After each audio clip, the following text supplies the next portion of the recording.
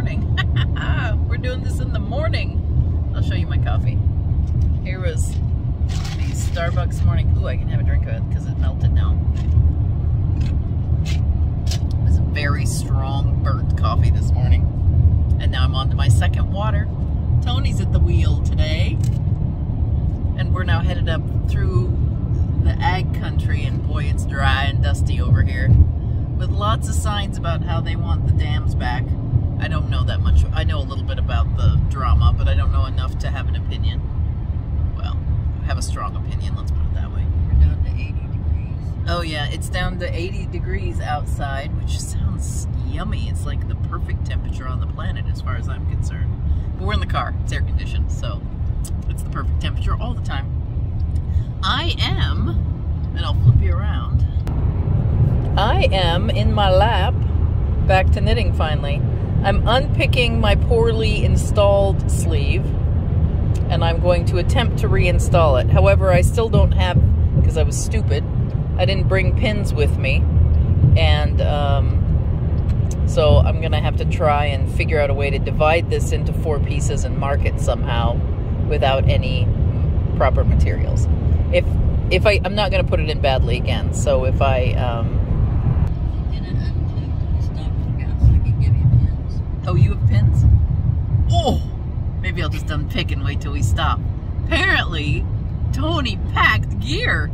I didn't pack gear. I left my pins because I have a set of pins in Arizona and I have a set of pins in Oregon and I didn't plan ahead. And I didn't do it before we left. So, uh, yes, so I will have pins.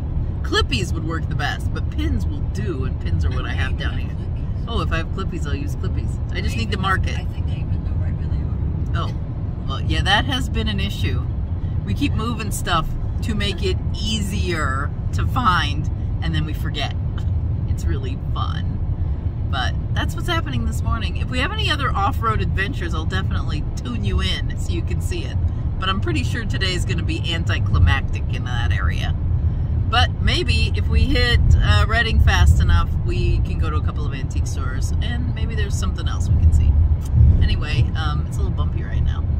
Um, I'll let you go for a while, and I'll tune back in. Maybe I'll give you a little montage of the um, almond trees, because they're the only green thing around right now.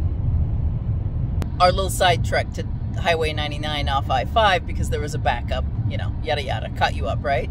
Well, our trek to 99 was through Los Banos, because it's not a tilde N, Los Banos, California, or Banos, I don't know. Their words are Banos, Los Banos, California. And um, I went to Urban Dictionary to see if there was a Spanish word without the tilde N, and apparently there isn't. And the Urban Dictionary post by somebody who was clearly dissatisfied with Los Banos, California, said that there is nothing, and I'm quoting this, shittier than Los Banos, California, and that um, the town is worse than toilets. That toilet, it's that it's what did he say? It's um, giving toilets a bad name or something like that.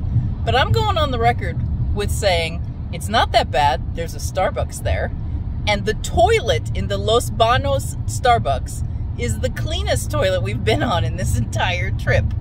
And we were at a Starbucks toilet yesterday in, oh God, I've already forgotten the name of it, Barstow. in Barstow, California, that was the dirtiest toilet I've ever been to in a Starbucks. Now, the dirtiest toilet I was in on this trip was a nasty little gas station south of Kingman.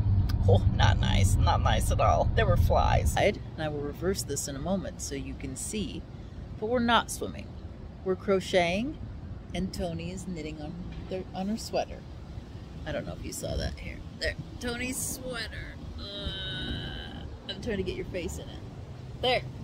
Are you in it? I don't know. I can't tell. The sun It's kind of sunny. Sorry, I tried. Um, so I couldn't figure it out. I have to reverse it, and then I can look, but I didn't reverse it. And then I have sewn in the sleeves of my sweater, and I'm now crocheting around the neckline with some hit and miss, and I'll show you that here in just a second. Um, the sleeves, just believe me. Pin, pin, pin. Divide it in half. Put put a clip at the top, clip at the bottom. Take the fourths, put a clip fourth away round, fourth of the way round. put a clip in between each of those clips, and the clips worked great, by the way. And Kelly, I think, has shown you these guys. I'll show you where to get these guys. I don't carry them in the shop because you can get them cheaper on Amazon than I can ever afford. And it comes in a cool tin. Um, the uh, so those clips are magical, and then you use the. I used well. I used a variety. I didn't just use a mattress stitch because as you go around the neck, you're doing parallel knit stitches, you're doing end to end stitches, and you're doing side to end stitches. So you have to kind of alter your strategy as you go around. And I'll show you that at some point someday when I have a camera in a holster that I can show it to you with. But um, I did that, so the sleeves are in. Work from the armpit to the top of the shoulder. Do not get cocky and work all the way around, starting at the armpit and then just going over the cap of the shoulder and back into the armpit. Because guess what will happen? You will have extra sleeve when you're done and you'll end up with gathers in your armpit. Not a good idea. Guess what I tried to do on one of my sleeves today? Yeah, guess what I got to do instead? Unravel it and do it again. So I've now had these sleeves in and out, I don't know how many times, at least three. And I recommend do what Tina says, not what Tina does. Um, so now I'm crocheting and I'll flip it around and I'll show you what I can show you. So the pool, first of all, priorities, right? Our feet on the lounge chairs and the pool and then the sweater with the sleeves in. I'll try and either get you a mirror shot tomorrow. Maybe, I don't know if I'll do it tonight. I might be too tired. There's the other sleeve in. And then what I'm doing is, let's get this to focus. I am doing a little picot edge. So slip stitch, chain three, slip stitch. And then as I went around the side, yes, that's the wind making all that noise. When I turned around the side, it started getting a little roughly. so I went to slip stitch chain two slip stitch. And then as I got down to the V, right here, I did four stitches of slip stitch, chain one, slip stitch. And then I'm going back up to two and then three around to the back. So that's all, and I'll show you what that looks like. That looks like that. It looks like that. And it's still rippling a bit, but I think it'll block out. It's not rippling too much. But the reason I'm not knitting a rib around the inside of that neck is even though I ripped it back and made it longer, remember that months ago? I didn't make it deep enough. And so if I put the V back in, I'm going to be having a crew neck instead of a V, my deep V that I like. So note to self on the next sweater, make the V much, much bigger so it's got room for ribbing. All right, I'm back. I know. I I always talk after I'm ready to talk to your face again, my face to your face. Anyway, um, that's the progress on the t-shirt. It will be done this evening. I am planning on finishing it this evening, and then it's just hide ends, and then I'll wait till I get home to block it because we're home tomorrow.